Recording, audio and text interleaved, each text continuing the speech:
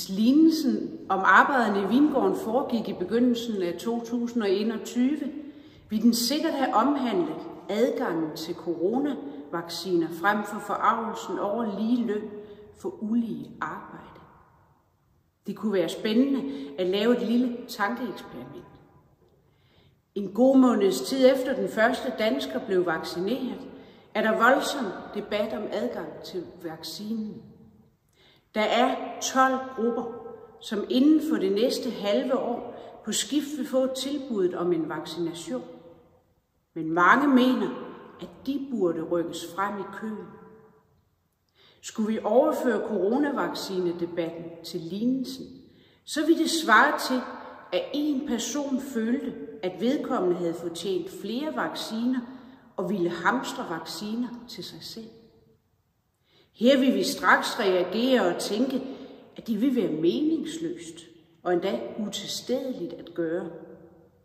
Hvorfor gør dette sig ikke gældende i forhold til de frustrerede og vrede arbejdere i Vingården, der føler sig uretfærdigt behandlet?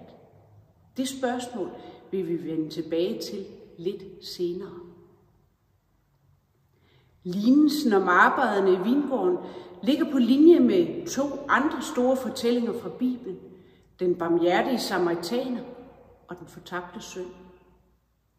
Alle tre fortællinger vil forkynde noget meget vigtigt om, hvem Gud er, og anvender til dette formål billeder og genkendelige situationer fra menneskelivet. For det første, hvis man vil have begreber om, hvem Gud er, og hvad Guds rige består i, så skal man være i stand til ikke blot aktivt at hjælpe medmennesket, men at ydmyge sig selv og tage imod hjælp fra et menneske, man normalt vil foragte. Gud viser sig i det mindste og det ringeste. For det andet, Gud tilgiver det, som intet almindeligt menneske vil kunne tilgive, tager den fortabte søn tilbage og giver mulighed for en ny begyndelse. Endelig, for det tredje, Gud giver alle lige meget, uanset indsats. Alle får det samme i løn, selvom de har arbejdet i fem forskellige hold, fra en sølle time til hele 12 timer. Jeg har i dag placeret mig bagerst i kirken, foran et kæmpe papirklip, som er lavet af en af kirkens tidligere konfirmander. Papirklippet forestiller den treenige Gud, Fader, Søn og Helligånd.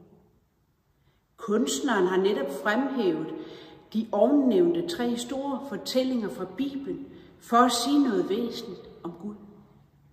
Gud viser sig i afmagten, tilgiver og skænker mennesket livet eller adgangen til det evige liv. Alle mennesker får det samme givet af Gud, og kærligheden er bindemidlet. Ligheden fremhæves frem for præstation. Hvis der, her er der ikke tale om løn eller fagpolitik, men om noget, der langt overgår dette. Ligesom det ikke giver mening at få mere end en vaccine fordelt på to stik, fordi den ikke kan gemmes til senere, således giver det heller ikke mening at få mere end én adgangsbillet til Guds rige, fordi billetten er personlig. Mange opfatter lignelsen som rigtig godt gammeldags træls. Et kors for tanken og et udtryk for det mest uretfærdige fra et menneskeligt synspunkt. Men det er givetvis, fordi vi mennesker sympatiserer med morgenholdet, der slider og slæber dagen igennem, og ikke med aftenholdet, der slipper billigt, med kun én times arbejde. Derfor synes vi, lignelsen virker uretfærdig. Men måske burde det vel lige omvendt, at arbejderne i vingården er uretfærdige over for Gud, fordi det er meningsløst at få mere end den løn Gud giver, som er lige med det evige liv, kærlighed, omsorg, tilgivelse. Disse gaver fås kun i ental, ligesom coronavaccinen. Måske har vi mennesker mest til fælles med aftenholdet, hvis vi skal være hudløst ærlige. Så vi burde være ovenud lykkelige frem for forurettet. Kunststykket består i at forvandle følelsen af uretfærdighed til en dybfølt taknemmelighed over Guds gavmildhed og nåde.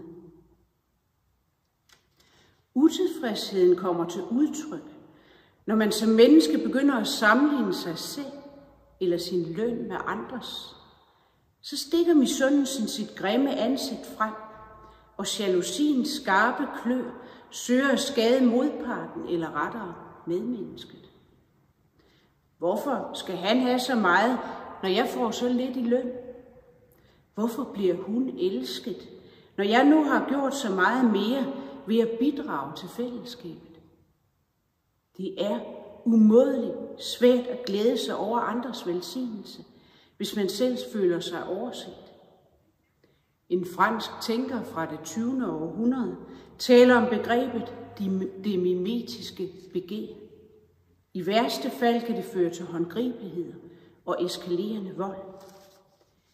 En af vores store tænkere fra Danmark, der levede cirka 100 år tidligere, taler om menneskets skadefuld misundelse og had over for fjenden som modsætning til den kærlighed, som Gud udviser. En kærlighed, der skjuler medmenneskets fejl og mangler. Gud giver sin indbydelse til alle, uden forskel. Indbydelsen til at arbejde i Guds vingård, i såvel denne verden som i den kommende indgang til livet.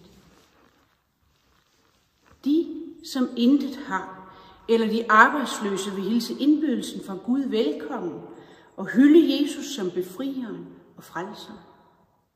Hvorimod de velbjergede og betydningsfulde i samfundet vil se med skepsis på en, der giver alle det samme. Jesus sætter menneskelige hensyn højere end samfunds- og magtstrukturerne. Det er en trussel mod den måde, hvorpå det jordiske samfund er bygget op, så magthaverne ser gerne Jesus uskadeliggjort til intet gjort. Timeligheden støder imod evigheden. Men evighedens perspektiv står tilbage, når de sidste bliver de første, og de første de sidste. Amen.